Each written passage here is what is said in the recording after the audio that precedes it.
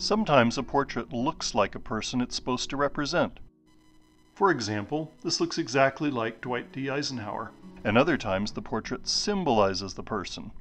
It represents who they are, what their qualities are, without looking like their face.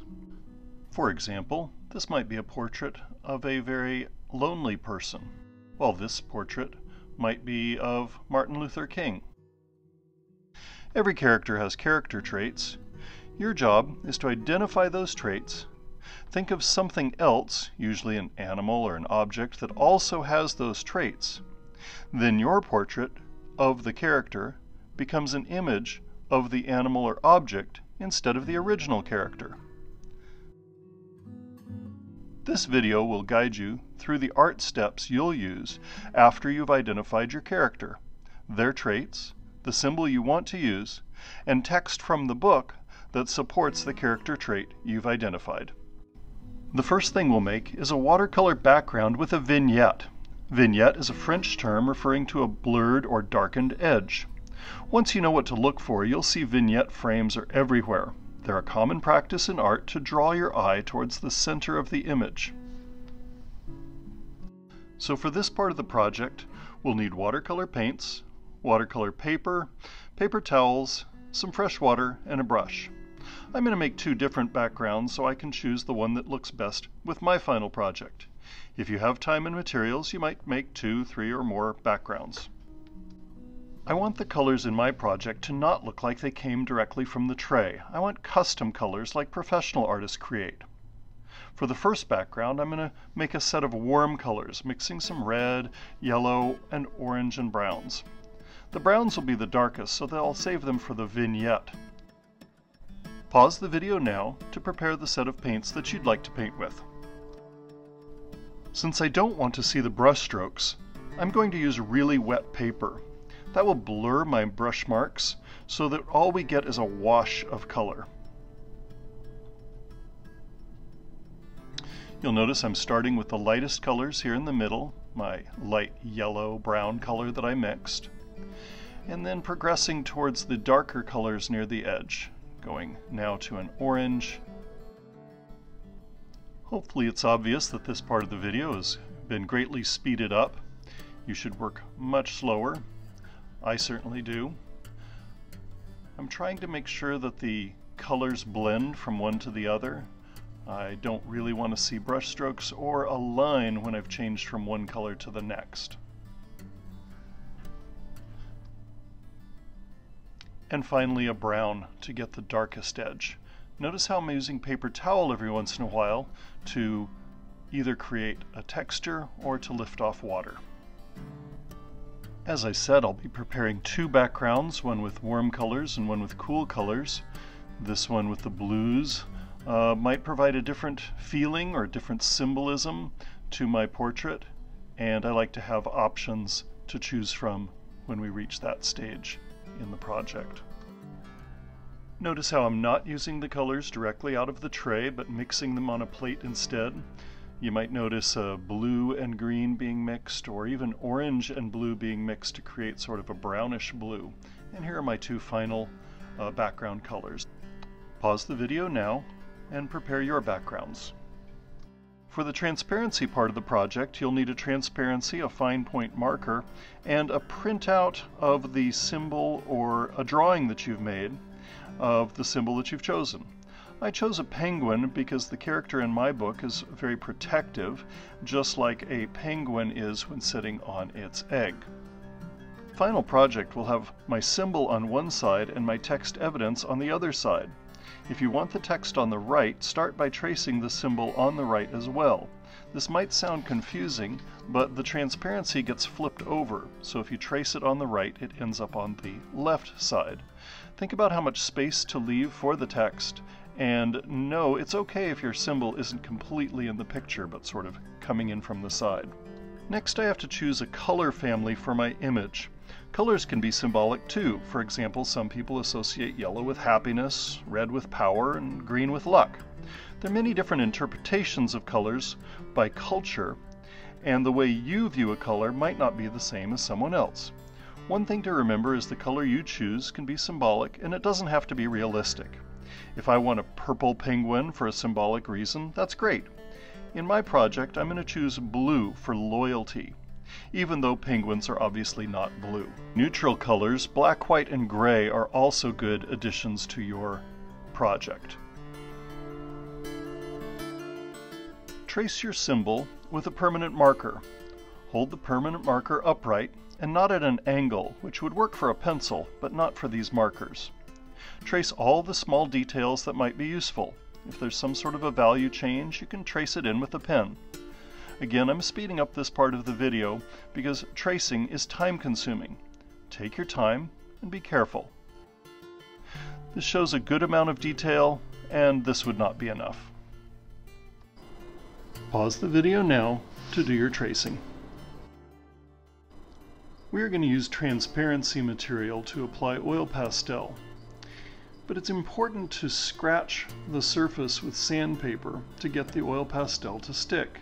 You can see here that when I try to apply the oil pastel to the unscratched surface, it, it doesn't look the same and it actually will wipe off with a damp cloth quite easily, while on the scratched area it's much harder to remove the oil pastel. When sanding, be careful to stay within the boundaries of your drawing. I like to use little circular motions when I'm sanding. You might have to fold the sandpaper to get into the small areas like I am here on the wing of my penguin. Here the circular motion doesn't work as well as a back and forth motion. Turn your transparency as needed to make it convenient for you to do the sanding. Look for areas that are not as well sanded they'll appear more transparent and go back and sand those so that it's evenly sanded all the way across your subject.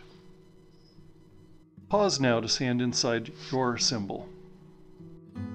I'm going to place my image back over the original and choose my color family for my penguin.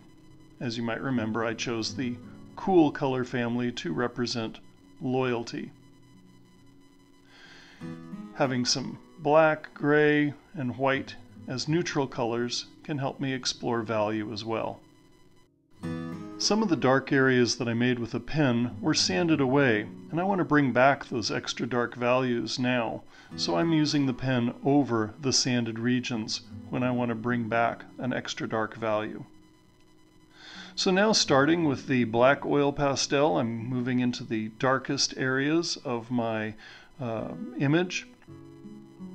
And I'm pressing onto the sanded area with the oil pastel, working my way around looking for where the darkest areas in the photograph are. By having the photograph right underneath, it's easy to look for the dark regions. Now I'm using dark blue next and smearing it right into the black. I saw a couple areas where a texture might be useful, so I'm putting those in. You can't put the pen on once the oil pastel is down. So if you're going to use pen, do it before any oil pastel is there. You can slide another piece of paper underneath to see how your image is progressing. I'm moving into a medium blue in this area. Again, just using the photograph underneath as a guide for where I should use dark values and light values.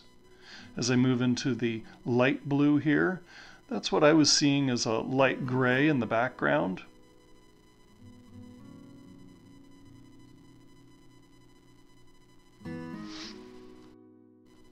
This can be time consuming, and obviously this part of the video is greatly speeded up. I don't work this fast. Continue checking by putting another sheet of paper underneath, seeing how things are coming along, and then removing the paper to see through to the photograph behind.